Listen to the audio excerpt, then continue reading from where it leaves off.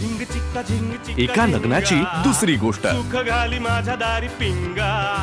आता देवकी आली ना तरी रोज तूच माझा नाश्ता आणि औषध आणायचं. काय? चालेल. हा? प्रॉमिस प्रॉमिस हम्म आता पण ऑफिसला उशीर होईल. नाही नाही आजी. घाई काही नाहीये. माझं आवरलंय सगळं. आंघोळ राहिले फक्त. हम्म. आणि आता शामरावाला सांग. काय आजी? मी आले घरात. आता नवीन पाहुणा येईपर्यंत माझेच लाड चालणार. कोण यायचंय आपल्याकडे?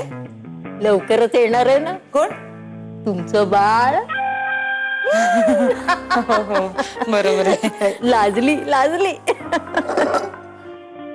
आपलं जे काही लग्न झालं ना म्हणजे हे it's a marriage of convenience नाही का?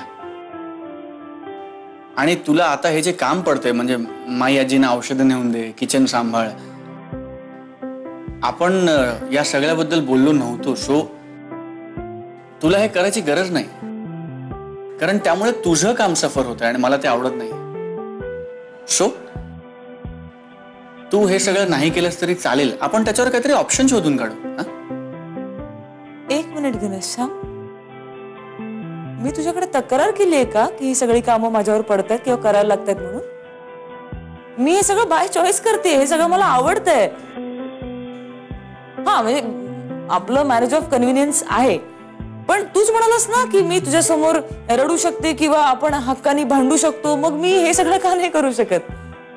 हा नाही म्हणजे मला या सगळ्या कामांची माझ्या घरी सवय नव्हती.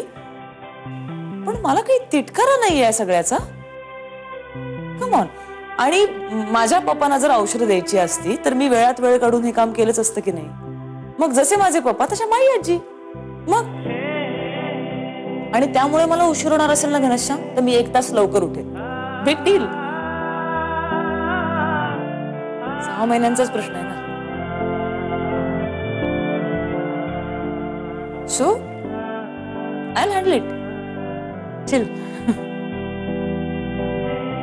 घड्याळबद्दलचे तू उशीर करतोयस हा मला घनश्याम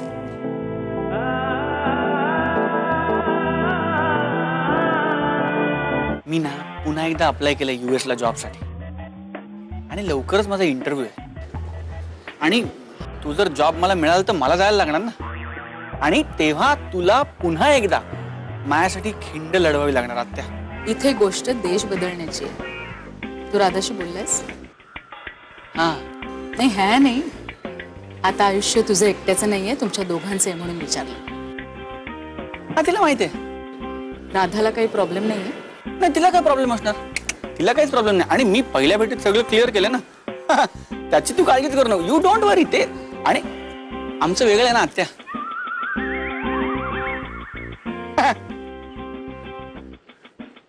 वैनुडी. कारण ती एकमेव आहे जी मला समजून घेऊ शकते अरे.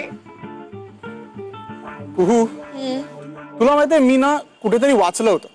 म्हणजे कुठे एक्झॅक्टली आठवत नाही.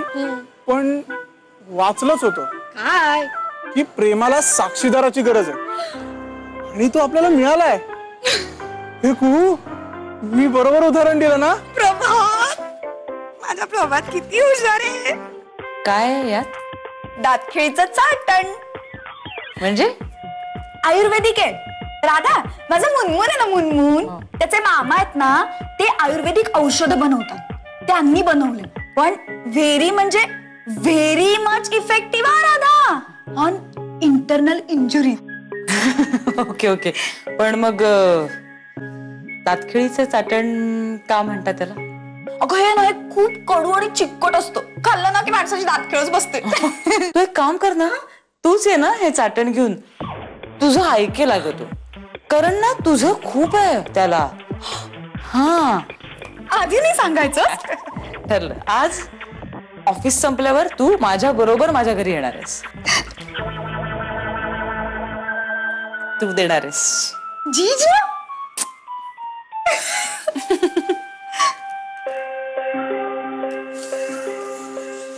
घनश्याम तुला दातखिळीचं चाटण चाटवायला तुझी लाडकी सोनिया येते रे बाबा. All the best